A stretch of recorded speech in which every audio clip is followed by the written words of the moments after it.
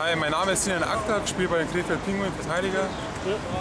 Bald geht die Saison los, 2013-14 und ich wünsche euch viel Spaß bei NR News.